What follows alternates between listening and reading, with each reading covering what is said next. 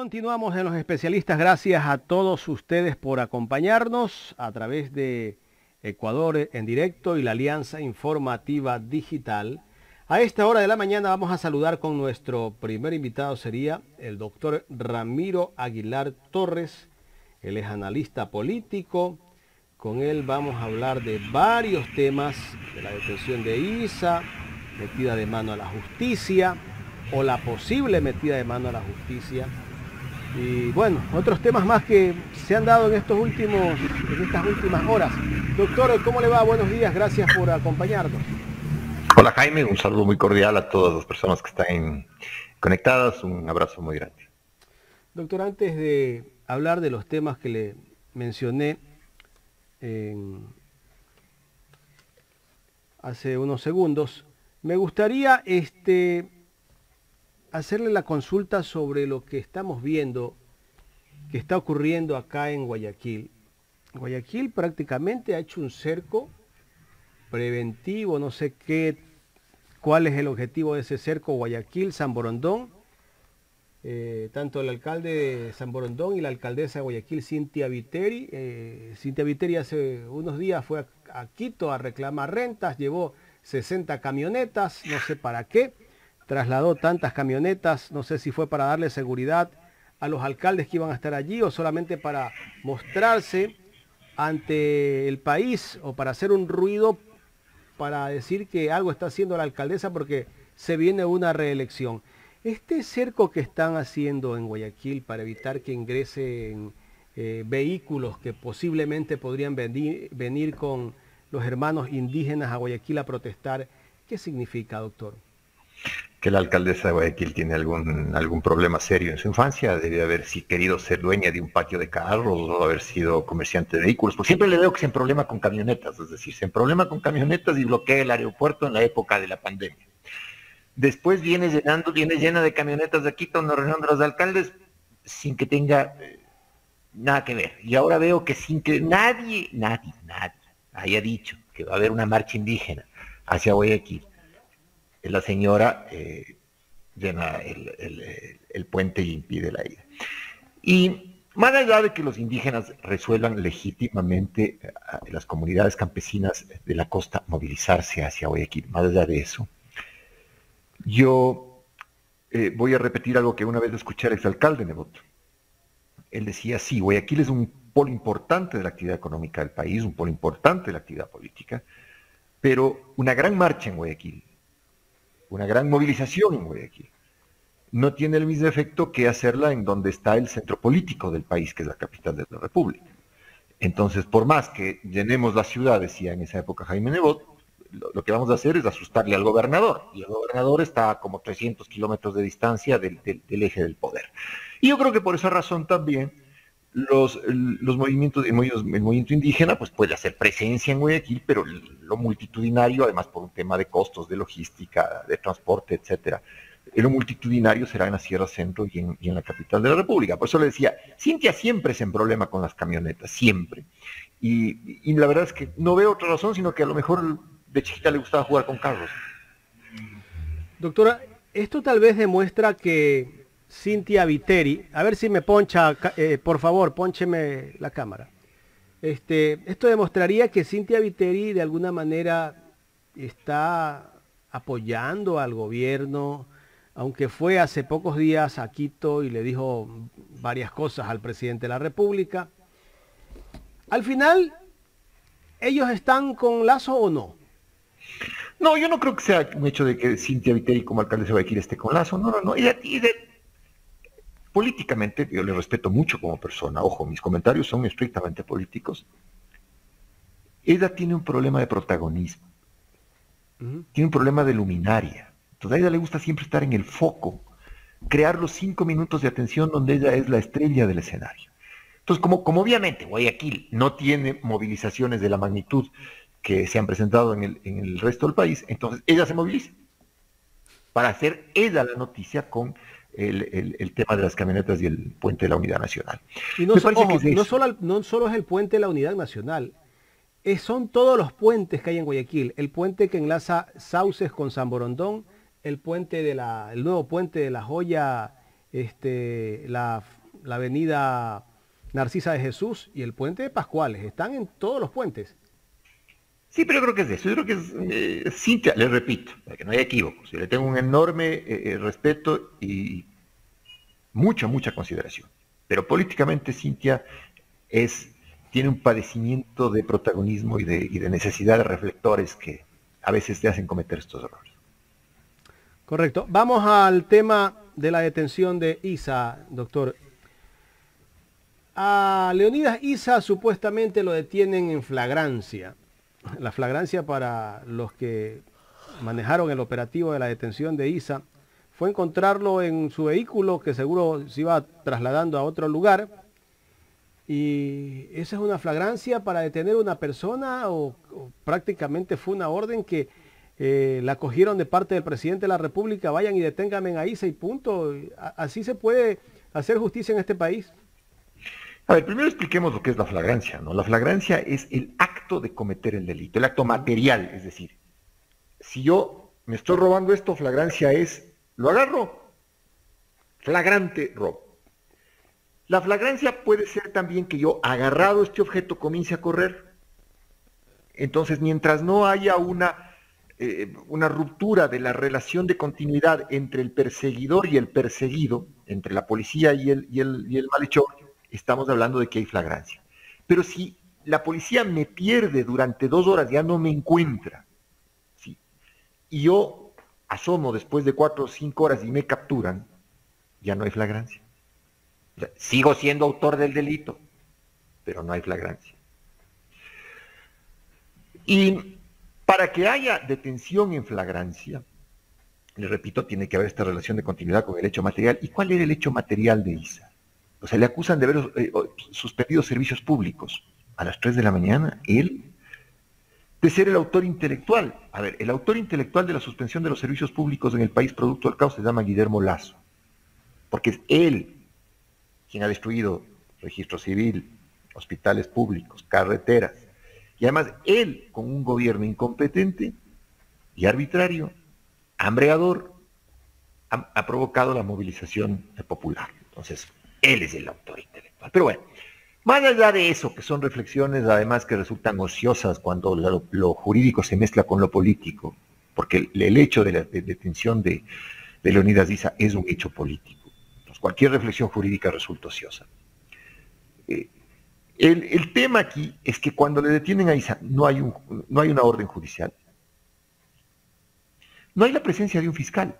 Le recuerdo que en octubre del 2019, cuando fueron detenidos los dirigentes de la Revolución Ciudadana a la, madrugada. Aún en esos casos, eh, los allanamientos y las detenciones se produjeron con presencia de fiscal y la policía. En el caso de Isa no hay presencia de, no hay orden judicial, no hay presencia de fiscal. Le detiene un general de la policía balbuceante que no sabía por orden de quién actuaba, o si era por orden del mismo, después parece que es el director de investigaciones el que ordena, el director de investigaciones supongo que depende del comandante general de la policía, y el comandante general de la policía depende de Guillermo Lazo. O sea, la orden de la atención de Isa no la dio un juez, sino Guillermo Lazo. Y ejecutó a través de alguien que se prestó a, a la arbitrariedad. Luego, no es puesto inmediatamente a órdenes de juez, porque la ley dice que cuando usted es detenido en delito flagrante, no le llevan a pasearse por la ciudad, le llevan directamente, inmediatamente a ponerle órdenes del juez competente.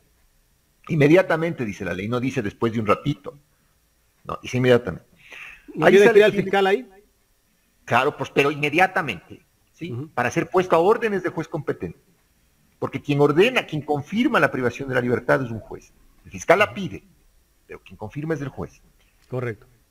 Entonces, y tiene que ir además a la unidad de flagrancia, a la policía judicial. No es competente para detener una persona ni el general Alan no sé qué cosa, ni el grupo policial tal, es la policía judicial.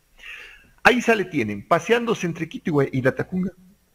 Le tienen después secuestrado en, un reparto de la FAE en el aeropuerto de la Tacunga. Y en la noche le ponen a órdenes, supongo ya que ya encontraron quien se preste al juego, eh, una jueza para que, y un fiscal para que le pongan órdenes. Yo quiero ser muy explícito en esto. Yo tengo profundas diferencias de orden conceptual y, soy muy crítico respecto a la actuación de la señora fiscal general. En lo personal, esto no es personal, como he dicho siempre, mis, críticas son a su gestión como funcionarios públicos. Cuando dejen de ser funcionarios públicos, no opinaré de ellos, como no opino de los demás ciudadanos. Pero la fiscal general me parece a mí que en la detención de Isa, esto es opinión mía, se desayunó igual que nosotros. Es decir, nosotros nos despertamos, abrimos el Twitter para informarnos, y igual que la fiscal se enteró de la detención de Isa. Por eso es que no pone un fiscal en el momento de la detención en la madrugada. No sabía. No sabía, obvio. No sabía ella ni ningún otro fiscal. Después, cuando Isa viene a Quito, la fiscal general les dice, un ratito, yo no me hago cargo de esta barbaridad. Entonces, la fiscal hace que le regresen a la Tacunga. Y en la Tacunga seguramente estuvieron buscando un fiscal que se preste a este juego macabro, alguien cercano al gobierno, que los hay, y los hay por lo que vamos a charlar después de un ratito, de estas conversaciones extrañas entre el presidente y el Consejo de la Judicatura. Y se consiguen a la jueza Bedón, a la que no hay que aplaudirle, ojo, porque la jueza Bedón no anula lo que debía anular, sino que convalida, sustituye la medida cautelar de prisión preventiva por la obligación de presentarse ante la autoridad, le da a la fiscal, al fiscal menos de 20 días para que cierre la instrucción, porque la audiencia me, dicen que va a ser el 4 de julio, y le deja a ISA con la obligación de presentarse dos veces por semana, tratando de bloquear la movilización nacional. Y esto en el hecho, esto, esto en el hecho judicial. Entonces, también yo creo que la señora fiscal general, ¿dónde falla? Doña, doña Diana Salazar falla en el momento en el que enterada ya de la detención de Isa, de esa ilegalidad monstruosa, ella debió disponer que sus fiscales no intervengan. Y ella debió pedirle al fiscal de, Cotopaxi que no convalide esa barbaridad. Y no lo hizo. Entonces, si bien la señora fiscal... Atenerse de, de, acusarlo. Correcto, disponer que no, que, no, que no le acusen. Pero también la señora fiscal es ambivalente, no tiene responsabilidad en el hecho de la de la detención, pero probablemente después ya en medio de, sus, de, su, de su ambivalencia y de su densidad, porque es un personaje político y, judicial muy denso, muy espeso, eh, ya fue contactada por el gobierno con seguridad. Entonces, frente a eso, si usted me pide una, una palabra que defina eh, las circunstancias por las que atravesó Leonidas Issa, es secuestro. Él fue secuestrado. Porque ni siquiera los derechos se los leyeron en el momento que lo ah, detienen. Un, pobre, un pobre señor que supuestamente era general de la policía con un celular balbuceante, no sabía ni qué decir. El propio Isa le veía hasta con, hasta con pena, ¿no? ¿qué, ¿qué hace aquí? Si esto es un hecho político. Eso llamó mucho la atención. Y después de que se lo llevan detenido es que le graban ya los derechos de Isa, ¿no? es terrible. Todo lo que se vivió y, las primeras horas del día martes, pues nadie sabía dónde estaba Isa. Secuestrado. Eso fue 10 de la mañana, todavía la fiscal no sabía, creo que a las 10 y media recién se enteraron. Isa estuvo secuestrado y supongo que eh, en algún punto alguien deberá ser procesado y responderá por el secuestro de Isa. Bueno. Se, llama, se llama detención arbitraria, Jaime, se llama detención arbitraria y es un delito de lesa humanidad. ¿Qué puede pasar con el juez o la jueza Bedón? Con la jueza Bedón puede pasar que le felicite el gobierno, pero en el momento en el que haya un consejo de la judicatura decente, tendrán que evaluar su gestión. Correcto. Estamos dialogando con el doctor Ramiro Aguilar Torres. Carla Aro también tiene más inquietudes. Doctor eh, Ramiro Aguilar, muy buenos días. Bueno, sin duda la detención de Isa, pues simplemente fue, no sé, una cortinita de humo ahí como para decir en, cuidado, aquí estoy, yo tengo el poder todavía. Pero al gobierno, ¿cómo lo podemos notar con estas manifestaciones? ¿Será que está preocupado ya? Hola Carla, muy buenos días, un, placer hablar con usted. El gobierno debería preocuparse en la medida en que el gobierno entienda el problema. Pues yo dudo mucho que Lazo entienda el problema y que el super equipo de Lazo entiende el problema. Ayer un poco en Twitter eh, enumeraba a su equipo, ¿no? La señora Belén Cordero, que es impresentable. Fausto Cobo, impresentable. Fernando Villavicencio, impresentable. Eh, Patricio Carrillo, impresentable. Carlos Vera, impresentable. Carlos, Andrés Vera, el hijo de Vera, impresentable. El procurador eh, Íñigo Salvador, impresentable. Eh, entonces, Diego Ordóñez, del asesor presidencial, recontra impresentable. y Lazo es impresentable. Entonces, como tenemos a la selección nacional de impresentables gobernando, ¿quién se da cuenta? Pero, una persona con un dedo de frente no habría hecho la arbitrariedad de secuestrar a Isa nunca, porque además la CONAIE, Carla, no es piramidal. La, la, CONAIE, y eso sabemos todos los que hacemos política, es totalmente transversal. Sus decisiones no son decisiones de sus líderes, sino decisiones de base. Si usted encarcela al líder, no pasa nada. Las bases se movilizan con la velocidad con la que se movilizaron el día lunes y martes de esta semana y, tienen un consejo de gobierno y unas estructuras comunitarias donde se decide de manera colectiva y democrática. Entonces, detener a Isa no tenía el menor sentido.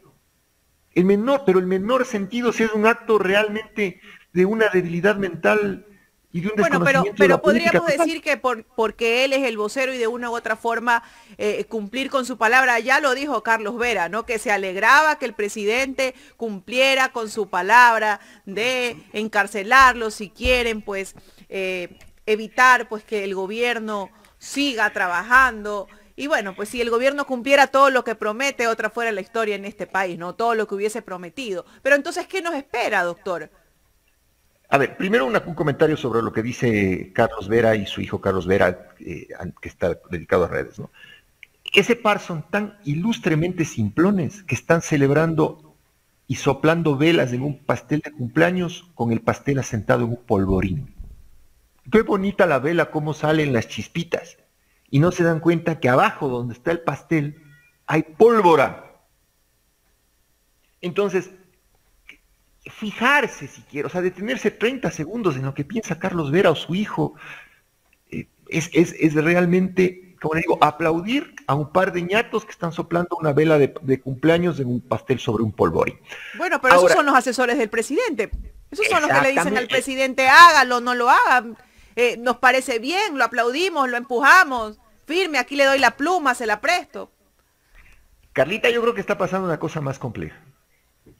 Mire, es evidente que Carlos Andrés Vera, el hijo de Vera, grande, eh, está haciendo un billetón ahí dirigiendo un troll center. Que le habrán contratado, cómo le paguen, esa es otra historia. Pero el hombre está dedicado a manejar redes. ¿Con qué propósito? Con el propósito de transmitir el mensaje del gobierno, es decir, manejar, crear millones de cuentas troll y aldeas de troll para transmitir lo que el gobierno quiere transmitir. El problema es que Lazo se olvidó de que le contrató a Carlos Andrés Vera o al Troll Center y cuando entra al Twitter piensa que Carlos Andrés Vera y el resto de cuentas son reales y son la legítima expresión de la opinión pública. Entonces, es, un gobierno que incluso ahí desvaría. Cuando es cuestión, hoy vi un mapa en, internet de cuáles son las provincias que están movilizadas en el Ecuador. No es, la no, es, la ciudad de La Tacunga, no es la provincia del Cotopaxi, no, no, no es la Sierra Central, es todo el país, menos las provincias de la costa, de Esmeraldas, Manabí, eh, Guayas, por lo que, por lo que explico al, al inicio de esta entrevista. Pero en el fondo, Carlita, si es verdad que esta gente le asesora al presidente, si es verdad que esta gente le asesora al presidente, eso no lo dudo, pero de todos ellos no hago uno, pues incluido el presidente.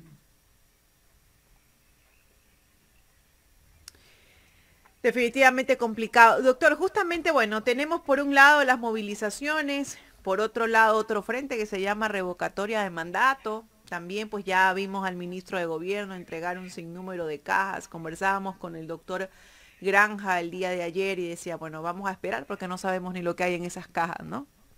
¿Qué habrá? Pero bueno, parece que el gobierno está tranquilo, ya lo dijo usted, no le toma atención, sigue su curso normalmente y bueno, pues ya se empiezan a ver ciertos acercamientos. De una u otra forma, podríamos considerar que estos acercamientos van a tener algún fin, algún objetivo.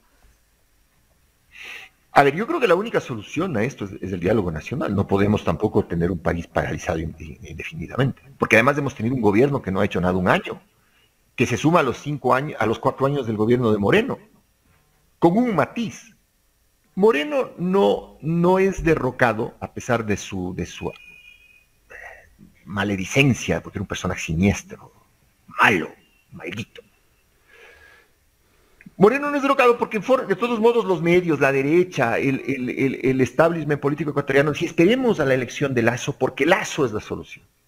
Oportunamente algunos de nosotros les dijimos, les dijimos, oigan, verán que Lazo es una camioneta 1200 nomás, así que cuidado, pero no hicieron caso. Y del viaje democráticamente decidieron que Lazo sea presidente. Perfecto, fue decisión democrática, absolutamente claro. Pero ya a la derecha, y a la, oligarquía y a los medios ya no les queda más. ¿Qué van a decir? Esperemos tres años de esta barbaridad. Un año no ha hecho nada. El Comité Empresarial Ecuatoriano, si es que el paro nos está costando, yo le habría dicho al Comité Empresarial Ecuatoriano, pero antes de pensar en eso debieron pensar en apoyar un candidato que era incompetente. Pues. ¿No es cierto? Entonces, yo sí creo que la única solución a esto es el diálogo nacional. Creo que hay que caminar en la revocatoria del mandato. Ahí también... Pero bueno, el diálogo nacional en función de que, que el gobierno rectifique y mantener a pues. Lazo el resto de tiempo que le queda. No, a ver, la revocatoria del mandato debe caminar porque Lazo no está en condiciones de gobernar. Pero la revocatoria del mandato tomará por lo menos un año. Entre recoger las firmas, validar las firmas, convocar al proceso electoral. Entonces no tenemos ese año. Entre tanto, el gobierno y los sectores populares y los sectores sociales tienen que tratar de encontrar una salida dialogada independientemente de la revocatoria, para poder hacer que el país camine. Ahora, no puede el gobierno transformarse en un, en un gobierno intransigente.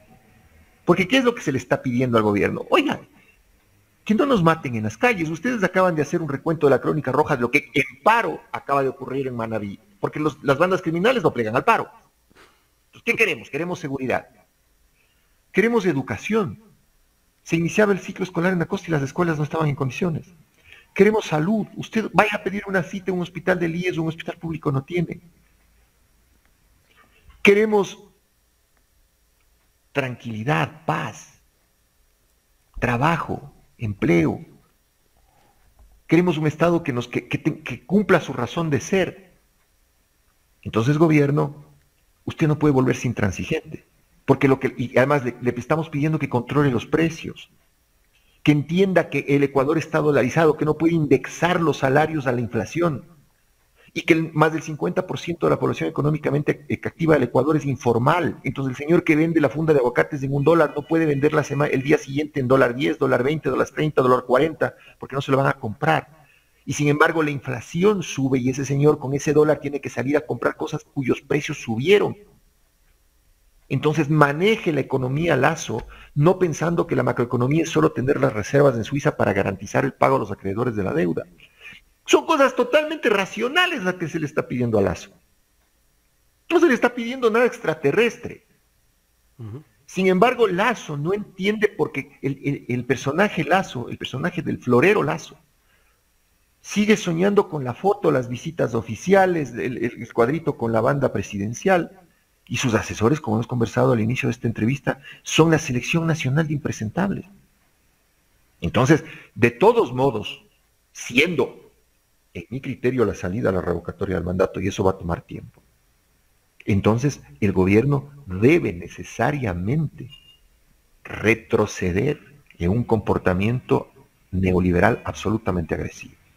Porque los, planteamientos sociales no pueden quitarse, pues, o sea, qué quito? mi petición de seguridad, mi petición de que no suban los precios, mi petición de que haya salud, mi petición de que haya educación. O sea, ¿qué retiro si todo lo que estoy poniendo en la mesa es legítimo? ¿Qué papel tiene que jugar la Asamblea, eh, doctor, en estos momentos, no con una nueva mayoría que hay? Yo he escuchado mucho en esos territorios esperanzadores y a veces fabuladores del Twitter que la Asamblea podría disponer la muerte cruzada. Que no sería una mala idea, pero yo no les veo a los asambleístas renunciando a la Asamblea, a sus sueldos, porque la mayoría de ellos ve la Asamblea como un emprendimiento personal. Es un negocete.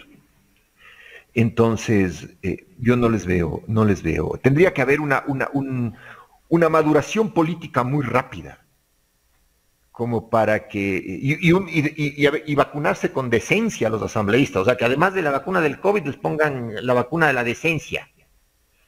Y ahí convoquen a muerte cruzada, que sería una alternativa válida también. Porque el presidente podría decir, a ver, me postulo elecciones nuevamente para ver si soy efectivamente popular, pero en las encuestas, en, las encuestas sobre su credibilidad, el hombre está bajo el 17%, es decir, está ha, perdido hasta tres puntos de ese núcleo duro del 20% que tuvo, y es la derecha parafascista, lo que el, poeta Pedro Gilman Habita decía, estos vergajitos xenófobos, e, es de esa derecha fascista que le dio el 20% para, para disputar la, entrada a segunda vuelta el, 2021. Doctor, me gustaría escuchar eh, su criterio sobre las declaraciones del ministro eh, Francisco Jiménez, que habló que el gobierno está cumpliendo con esos 10 puntos que está exigiendo la CONAIE. Ese es por un lado. Y también me gustaría escuchar el criterio suyo sobre las declaraciones que dio el ministro del Interior, Patricio Carrillo, que dijo que las jornadas de movilización eran financiadas por el narcotráfico. A ver, empiezo por lo último. Esa declaración no sé si la hizo Carrillo o la hizo Cobo. Si la hizo también Carrillo, no había escuchado la de Carrillo, escuché la de Cobo. Eh, es una declaración infame. Infame y de una perversidad moreniana muy, muy aguda. Porque hay que ser un cínico, un perverso, para mezclar el gravísimo problema del narcotráfico y del sicariato con la legítima resistencia popular en las calles para mezclar con la política. Repito, tres adjetivos. Hay que ser un tipo siniestro, hay que ser un tipo cínico y hay que ser un tipo perverso para hacer esa mezcla.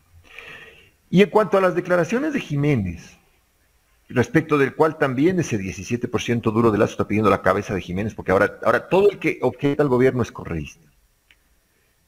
Jiménez, yo le tenía más fe a Jiménez. Yo pensé que iba a hacer un mejor trabajo. Pero también entiendo que en el, en el despampado, que es el gobierno de Lazo, Lazo, eh, Jiménez no tiene, perdón, Jiménez no tiene quien consultar, pues o sea, él solito no puede tomar decisiones como ministro de gobierno. Él tiene que apuntalarse en el presidente. Y el presidente no es, no es, no es de fiar. Entonces, eh, hay estos mensajes contradictorios. Carrillo dice, a ver, esto está en paz, vamos a quitar las vallas, esto está tranquilo. Eh, el ministro de Gobierno dice, bueno, estoy tratando de conversar y Lazo en la madrugada del, lunes ordena el secuestro de Leonidas Issa. Entonces, en un país donde nadie tiene una agenda, un hilo conductor, una noción de política pública, eh, pasa lo que está pasando en el Ecuador. Ahora, a Jiménez le perdí la fe. Yo creo que, yo creo que eh, voy a ser, voy a ser muy, muy práctico con lo que voy a decir yo creo que el hombre ya está sentado en la silla del Ministerio de Gobierno, pero de ministro de Gobierno no tiene nada.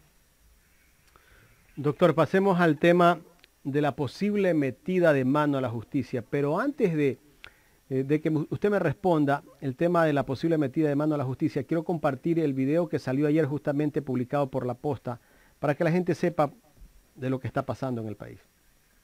Bueno, yo, yo primero quiero dar estimar también desde película de que gobierno y el correo te agradezco Mario por estar acá.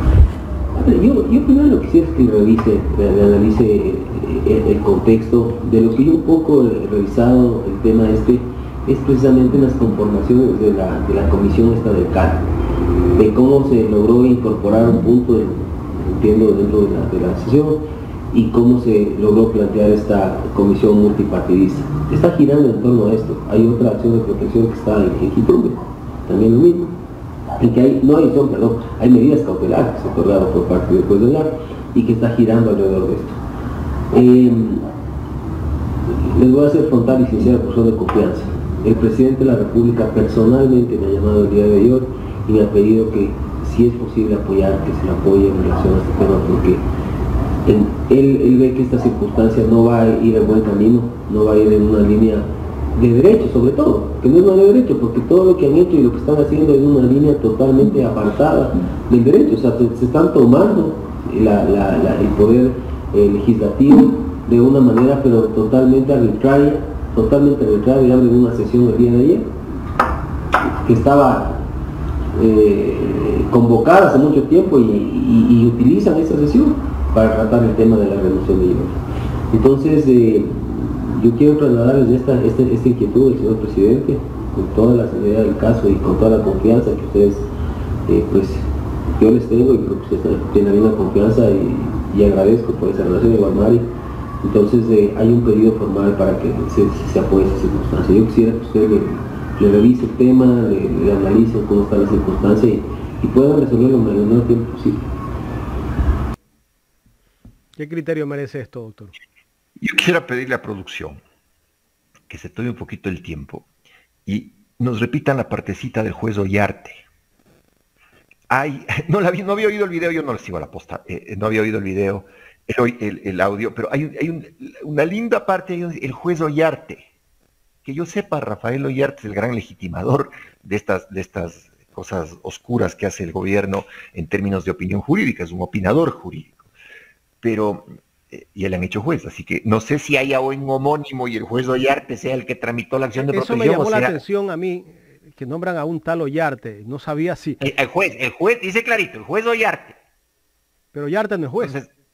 A, menos que le, a menos que le hayan dado los, el, cargo de juez, juez ad honorem en el Ecuador y sea el gran... Pero en cambio, ese, ese, ese, ese desliz, ese gazapo del del juez Ollarte nos pone en evidencia que probablemente y lamentablemente Rafael Ollarte es el gran ideólogo de estas, de estas cosas extrañas que pasan en la justicia. Después, eh, al final del audio, eh, dicen que es un pedido personal del presidente de la República. Entonces, el presidente de la República es lo que le decía respecto de Francisco Jiménez. A ver, el ministro, de Gobierno es el que se encarga de eh, transmitir los mensajes del presidente y desde luego no entre gallos y medianoche, pues. No entre, entre gallos medianoche y una botella de caña manavita, habría dicho el poeta que ahora estoy leyendo a Pedro Gil al manavita, que es un gran poeta. No entre, no entre, no entre gallos medianoche y una botella de caña manavita.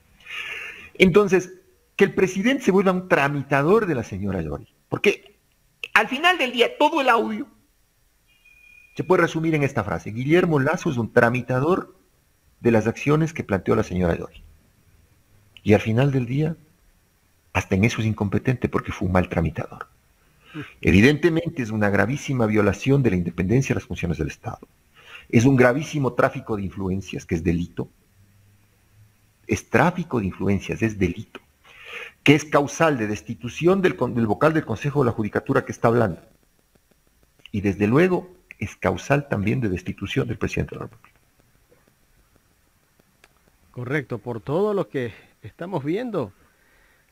Y hay que ver qué pasa, ¿no? La Asamblea tendrá que analizar un juicio político a estos vocales o a los consejeros. Pero sin duda, sin duda, sin duda, sin pero sin la menor duda, sin la menor duda, porque se han, se han convertido en, en, tramitadores de la señora Dori a través de un intermediario que se llama Guillermo Lazo. Claro que sí. Porque sería más grave todavía, sería más grave todavía que Lazo no le haya pedido al del Consejo de la Judicatura la intermediación y que el Consejo de la Judicatura haya tomado el nombre del presidente.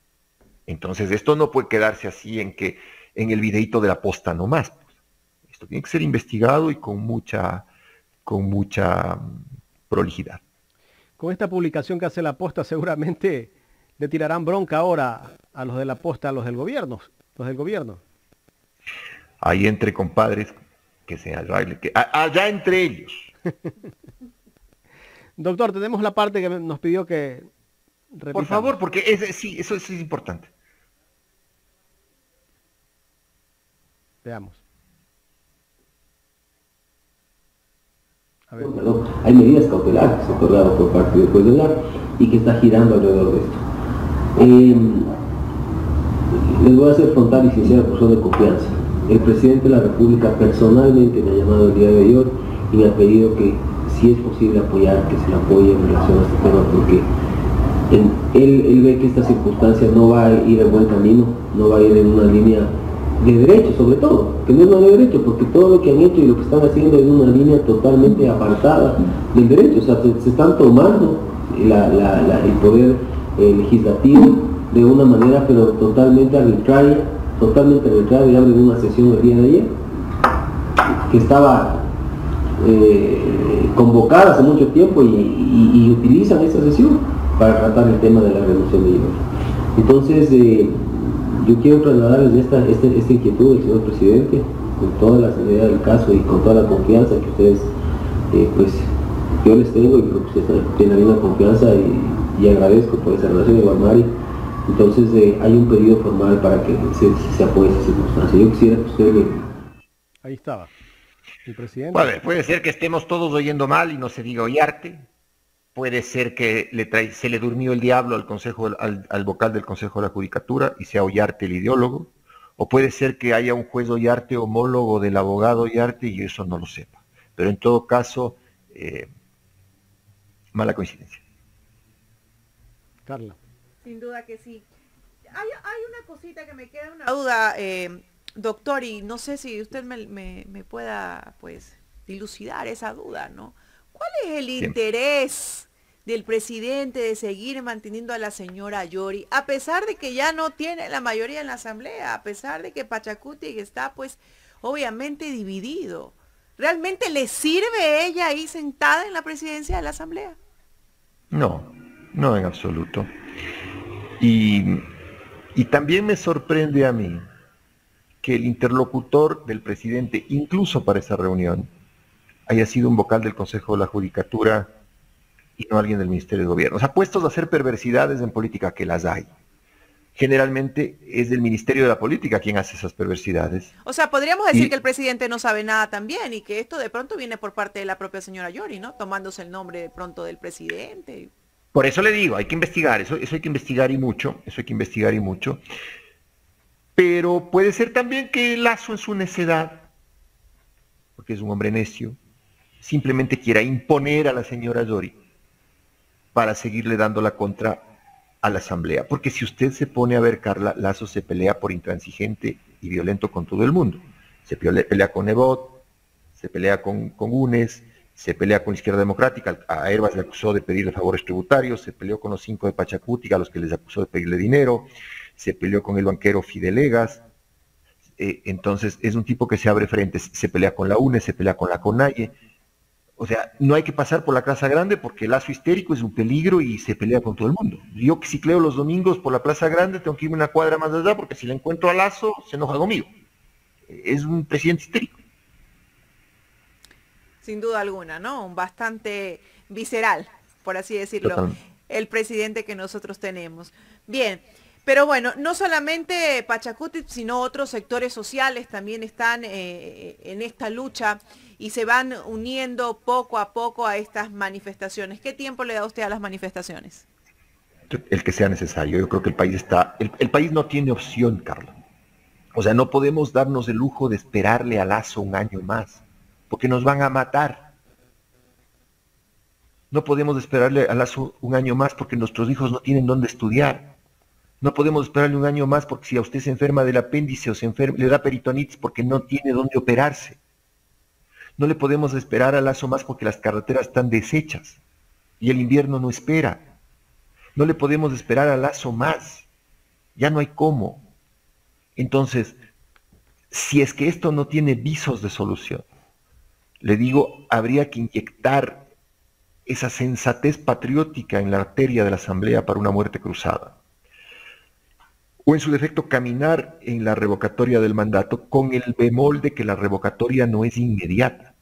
Pero tenemos un tribunal electoral donde usted sabe que el presidente Lazo tiene algunos amigos ahí también. Entonces tampoco es algo que nos dé la seguridad de que a pesar, como usted lo acaba de decir, de que se tome su tiempo, se vaya a dar.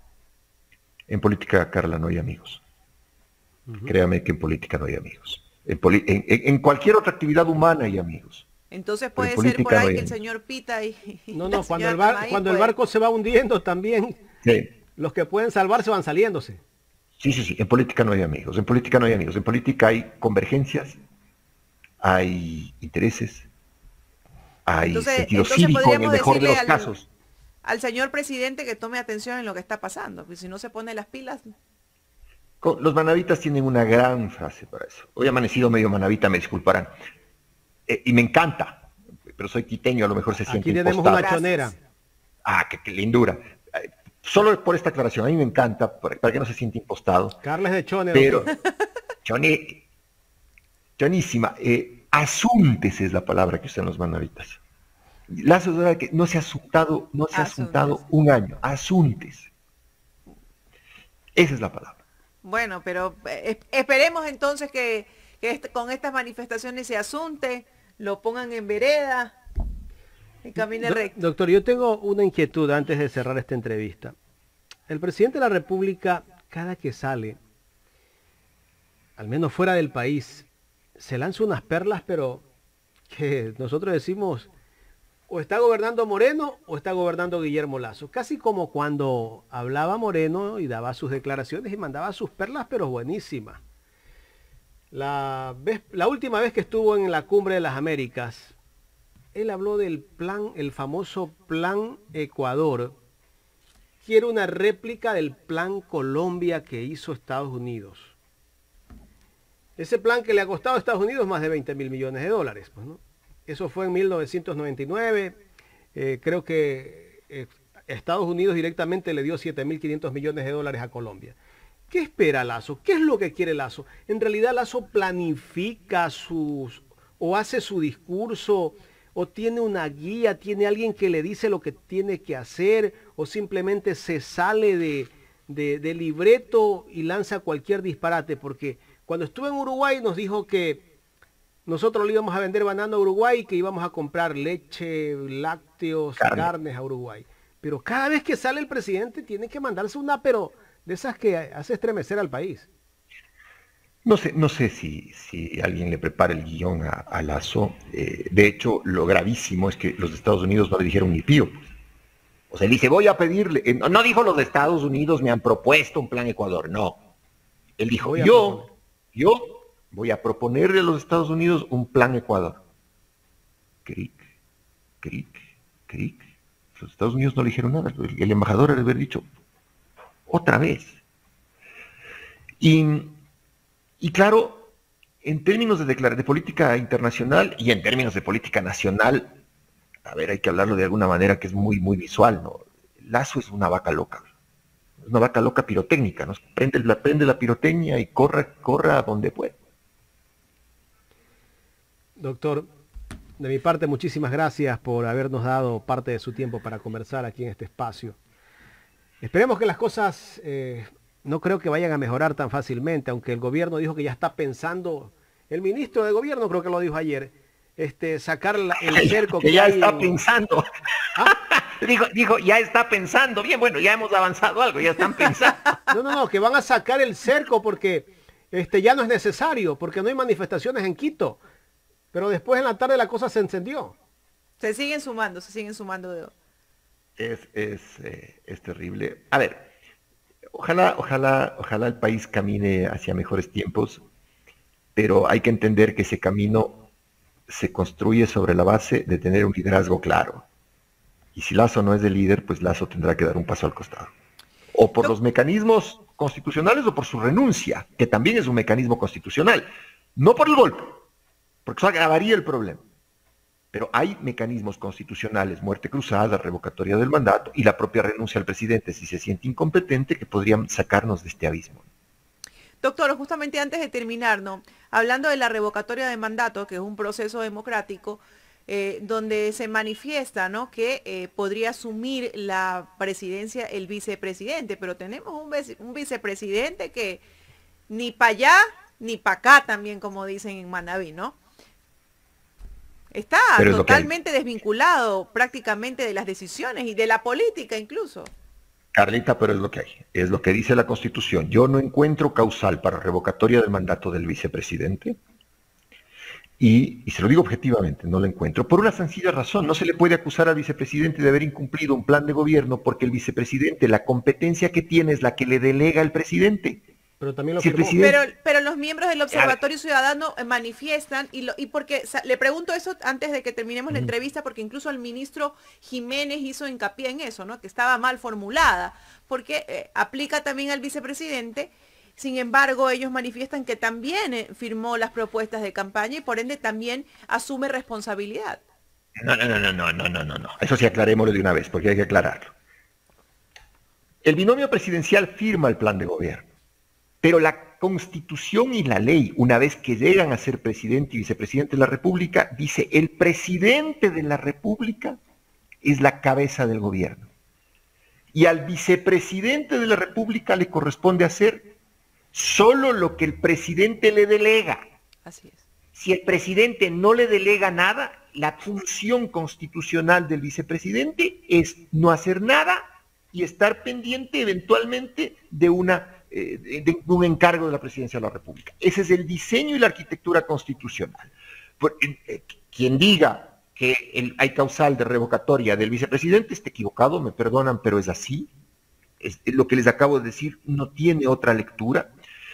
Y en caso de una muerte cruzada, los dos irán a elecciones, o sea, no es que se quede el vicepresidente, no, los dos dan elecciones, Lazo se queda gobernando por un tiempo por decreto, pero en el tema de la revocatoria o en el tema de la renuncia del presidente Lazo, a quien le corresponde asumir la presidencia es a Borrero. Aquí ya no hay espacio para los pequeños alarcones. La constitución es clarísima.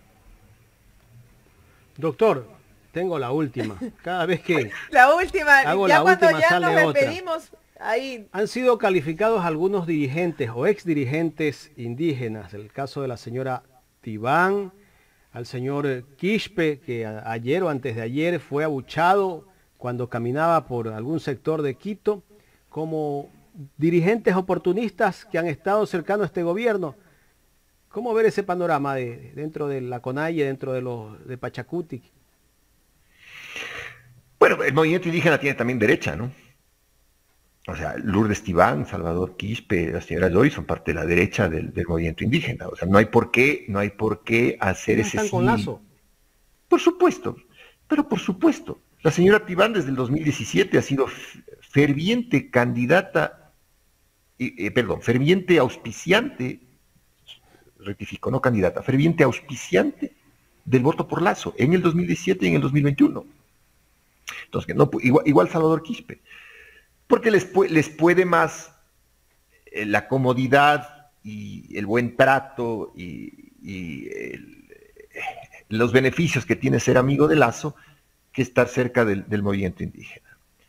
En, todo caso, quiero subrayar esto. La CONAIE es la Confederación de los Pueblos y Nacionalidades Indígenas del Ecuador. Nadie ha dicho que la CONAIE sea ni comunista, ni izquierda, ni progresista. Hay sectores en la CONAIE y en el movimiento indígena que son progresistas. Hay sectores en la CONAIE y movimiento indígena que son eh, eh, parte de, iglesias evangélicas, por ejemplo. Habrán sectores del movimiento indígena que son parte de su eh, religión y sus culturas ancestrales. Y hay gente de derecha también. Entonces, no veo por qué inconscientemente estamos asociando con Aye con izquierda, eso no es verdad. Y la señora Lazo, la, perdón, la señora Tibán, eh, la señor, el, señor Quispe y, la señora Dori, pues son muy, muy de derecha y muy de Lazo. ¿no? es el caso como lo dijo aquí Pedro Moncada hace pocos días, de Carlos Vera, que fue parte de Alfaro Vive y que soñaba con ser guerrillero y resulta que ahora él dice, me sorprendo verlo del otro lado. Algún rato quisiera conversar con Pedro Moncada, esto un poco ya para, para, para hacer a la cosa. No le conozco, no le conozco a Pedro Moncada. ¿Qué le parece si le planteo Un, diálogo con los dos aquí en este espacio? Me encantaría, me encantaría. Porque de Pedro Moncada la única referencia que tengo es aquel eh, eh, libro que escribió un chico quiteño que se llama Santiago Aguilar sobre Arturo Jarrín y, tiene como fuente también a Moncada. Entonces, he, leído lo que dice Moncada, pero no le conozco a Pedro Moncada. Pero me hizo acuerdo que efectivamente cuando eh, el señor Vera estudiaba Derecho en la Universidad Católica, mayor a mí muchos años, le dio por ser karateca, eso sí es cierto. Así es verdad. Entonces, entonces, entonces de ahí, de ahí, de, este hecho que es, digamos, que, que, frívolo, trivial, parto a, una reflexión de que sí seguramente en esos años Pedro Moncada efectivamente se entrevistó con Carlos Vera. Ahora que Carlos Vera haya pedido ser parte del de Alfaro Vive o haya querido ser guerrillero, tengo mis dudas. Por eso sería simpático un coloquio no tan político, más bien un tema histórico con, con Moncada, quien se lo voy a plantear. por favor, si ustedes pueden, mándele un abrazo. No le conozco. La única referencia mía es esta, esta presencia muy fuerte de él en un libro bastante bueno escrito por Santiago Vila. Ahora sí, doctor, muchísimas gracias. Gracias, doctor. A ustedes siempre. Carleta, Jaime, un abrazo grande y que todos tengamos, a pesar de todo, un buen y, y espero que vaya a Manaví y sobre todo que pruebe una rica tonga, puede ser, ¿no? Ya que está... Soy fanático de la comida manavita, soy fanático de la comida manavita. La, la comida manavita me alegra el alma y el humor de los guayaquileños también. Un abrazo grande. Gracias. Gracias al doctor Ramiro Aguilar por la entrevista.